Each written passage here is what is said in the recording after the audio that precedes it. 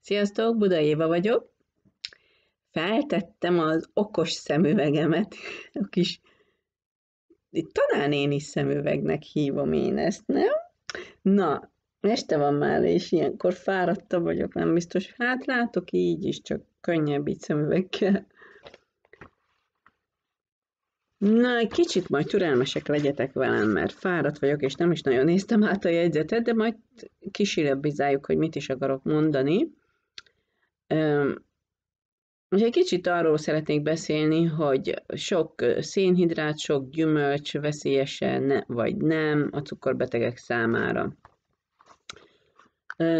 Ugye azt mondják a cukorbetegeknek, hogy ne egyél gyümölcsöt, a gyümölcs az egyenlő sok cukorral, a sok cukor pedig rossz a cukorbetegnek, ebből következik az, hogy a gyümölcs is rossz a cukorbetegnek. Jó, most egy kicsit lekerekítve mondtam. Tehát az egyik tábor azt mondja, hogy cukorbeteg vagy, ó, ó gyümölcsöt, nagyon keveset, nagyon óvatosan, mm, jobb hazzal kerülő viszonyba vagy. A másik tábor azt mondja, hogy a gyümölcs az nagyon jó, különösen, ha cukorbeteg vagy. Hmm, két ellenkező tábor, tehát azt mondja, cukorbeteg, vagy az egyik azt mondja, akkor ne nagyon egyél gyümölcsöt, nagyon vigyázz, válogass meg, hogy meg gyümölcsöt mennyit eszel.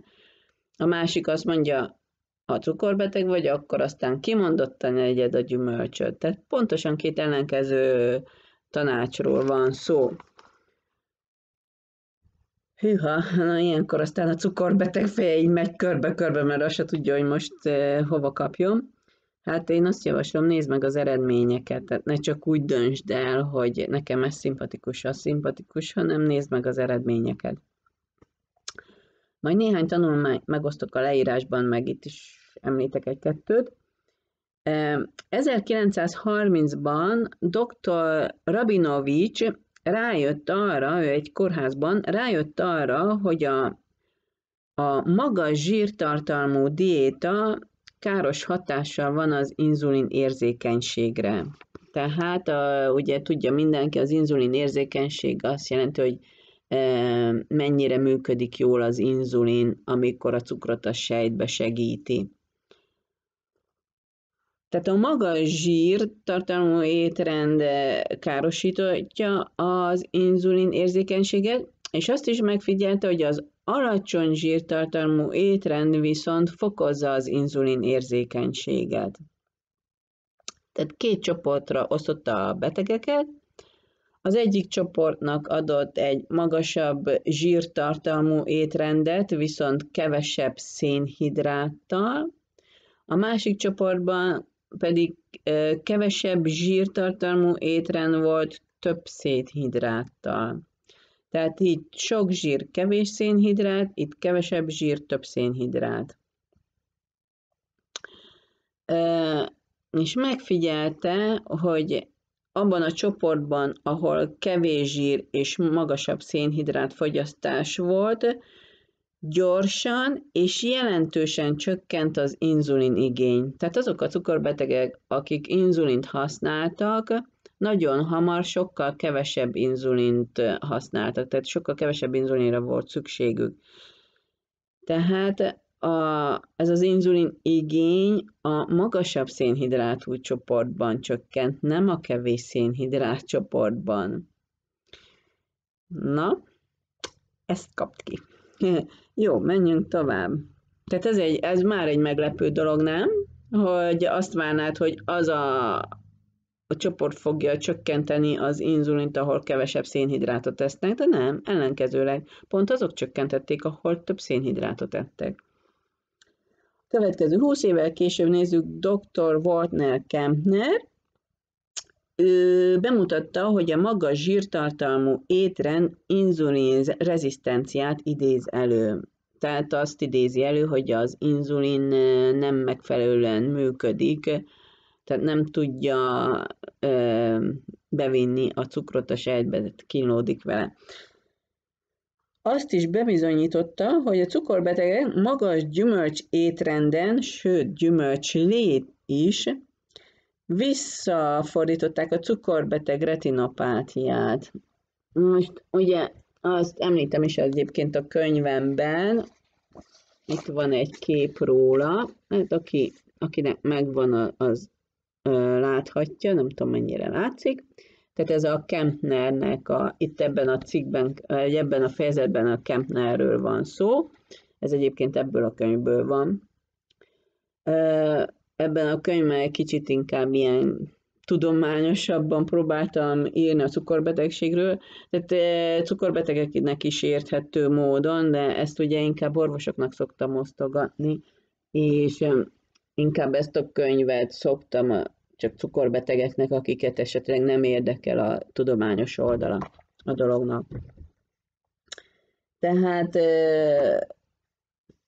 milyen, konkrét milyen étrenden voltak ezek a betegek? Fehér rizs, gyümölcs, gyümölcslé, ugye, ami nem kimondottan jó, hiszen a rost nincs benne, és cukor, tehát fehér kristálycukor, az volt az étrendhez adva. Egyébként ezt azért adta az étrendhez, mert vesebetegekkel is foglalkozott, és e, e, a cukorban nincs fehérje, viszont energiát adott nekik. Tehát az étrend olyan ételekből állt, amit a cukorbetegeknek nagyon is, hogy tiltanak, úgymond. És ő meg is pont erre a négy csoportra tette, a, tehát ez a négy ételcsoport adta az étrendet, amire a cukorbetegeket rakta. És jó eredményeket értek el.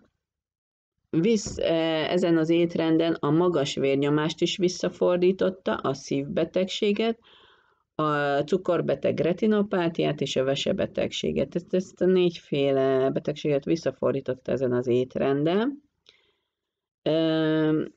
Hát hogyan lehet mégis ez, hiszen mindenki azt mondja, hogy a magas szénhidrát étrend az súlyosbítja a cukorbetegséget, tehát az, az meg fogja növelni a vércukrot, meg fogja növelni a gyógyszer, illetve inzulinigényt, elősegíti a komplikációk kialakulását, tehát mégis hogy lehetséges az, hogy a, a cukorbeteg community ezt mondja, mégis a Kempner erre a nagyon magas, tömény szénhidrátra rakta a cukorbetegeket. Tényleg ez olyan borzasztó étrend, amit én sem javaslok, hiszen nincs benne, ott, ott a fehér cukor, ott a gyümölcslé, amiben nincsen rost. Mégis nagyon jó eredményeket ért el. Tehát hogy lehet az, hogy ellenkező eredményeket ér el, mint ahogy azt egy cukorbeteg vagy egy cukorbeteget kezelő általános orvos elvárná? Hát igen, de tulajdonképpen azért, mert az, ugye aki követ is engem, mert tudja, hogy a szénhidrát az nem ellenség, a gyümölcs az nem ellenség. Tehát itt a cukorbetegeknél nem ezt kellene csökkenteni, és nem ezt kellene mumusként emlegetni.